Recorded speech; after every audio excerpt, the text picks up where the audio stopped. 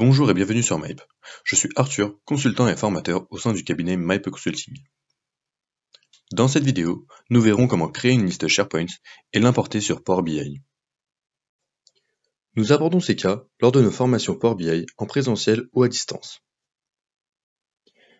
Les listes Microsoft SharePoint sont des formulaires qu'on peut créer et modifier facilement sans aucune ligne de code.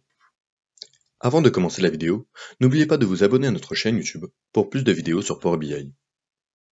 Tout d'abord, on va se rendre sur le site SharePoint.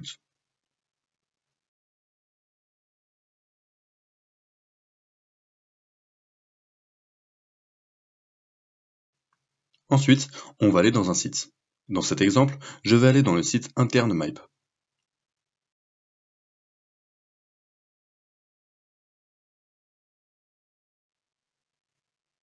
Une fois dans le site, je vais dérouler la section Créer et je vais cliquer sur Liste.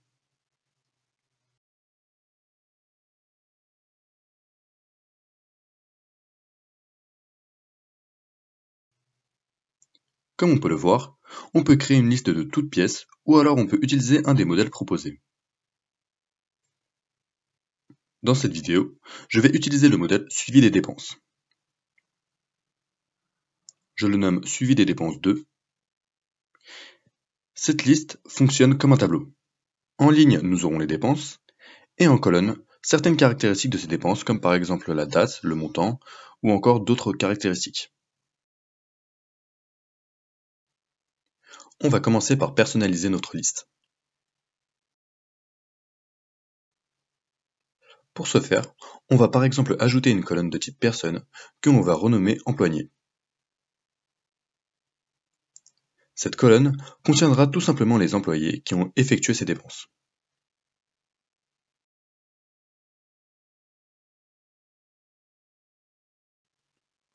Je vais également modifier la colonne montant en cliquant dessus et ensuite en allant dans les paramètres des colonnes et en cliquant sur modifier.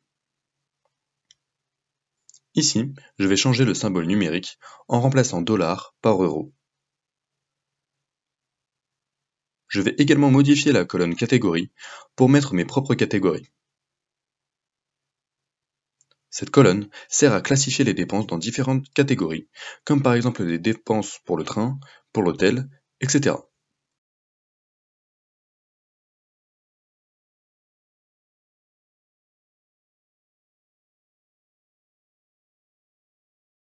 Je vais enfin ajouter des éléments à cette liste en cliquant sur Nouveau.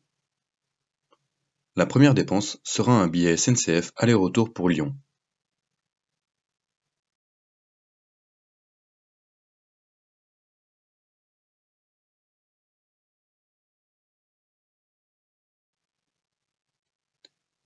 Cet aller-retour a eu lieu le 13 mars 2024 pour un montant de 131 euros.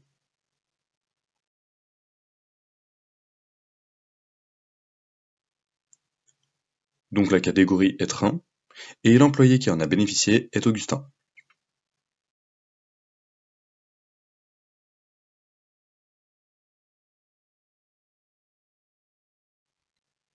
On va ajouter trois autres lignes pour remplir notre liste.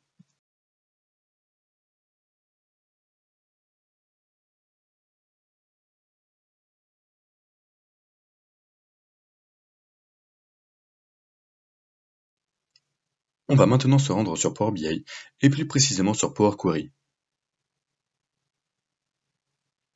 Ici, on a déjà importé une table de dimension employés qui répertorie plusieurs données sur les employés de MAIP, comme par exemple le prénom, le mail, la date de naissance ou encore le salaire. Toutes ces données sont aléatoires, bien évidemment. Pour importer les données de la liste SharePoint que l'on vient de créer, on va cliquer sur Nouvelle source et ensuite sur Plus. Dans la barre de recherche, on recherche Liste pour pouvoir importer une liste SharePoint.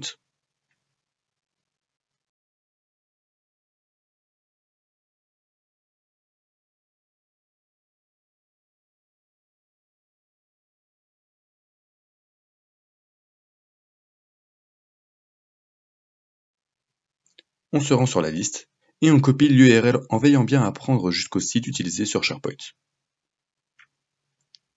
Ici, je copie en prenant Keep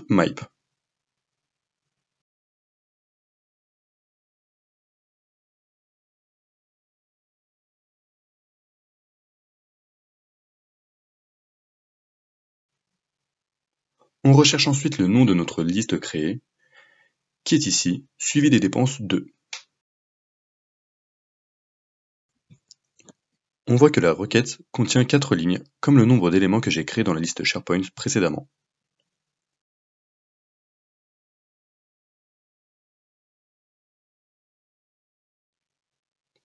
Maintenant, je vais choisir les colonnes qui m'intéressent en utilisant la fonction Gérer les colonnes.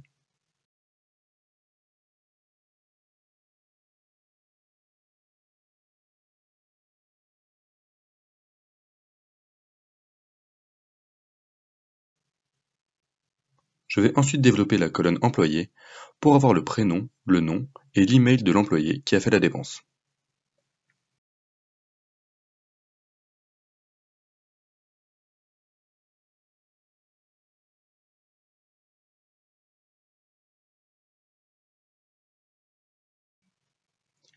Imaginons que dans la table de faits, qui est ici les dépenses, je veux le service et le salaire de l'employé. Je dois faire une jointure avec ma table de dimensions en cliquant sur Combiner et fusionner les requêtes.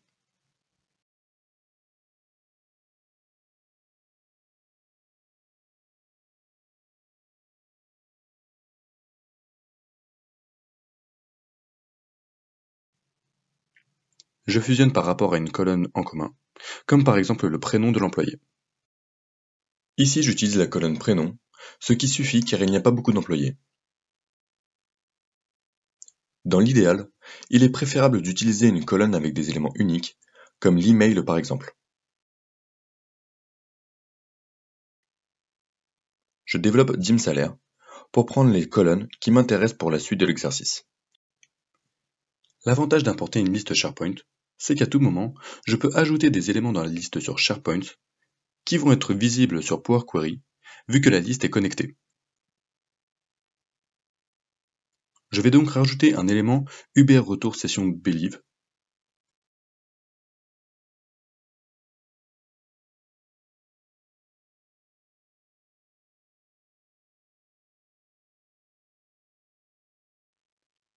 L'élément est automatiquement mis à jour dans la liste SharePoint, et lorsque j'actualise l'aperçu sur Power Query, on voit qu'il y a une ligne qui s'est rajoutée, et qui est bien la ligne que j'ai rajoutée dans la liste SharePoint.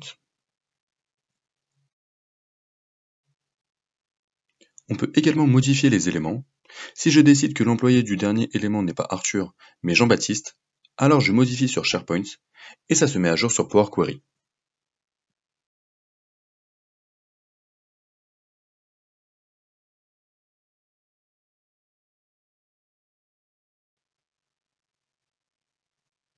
Grâce à l'importation de la liste SharePoint, on peut terminer le travail sur Power BI Desktop en faisant par exemple un visuel de type tableau, où l'on met les employés, le montant de leurs dépenses, ainsi que leur salaire.